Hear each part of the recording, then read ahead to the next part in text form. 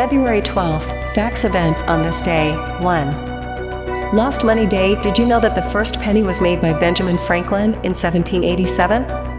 Today is Lost Money Day, so why not dig into the back of your couch and find lost money? 2. National Pudding Day, also known as Christmas pudding. Plum pudding is a classic holiday dessert that dates back to the 17th century.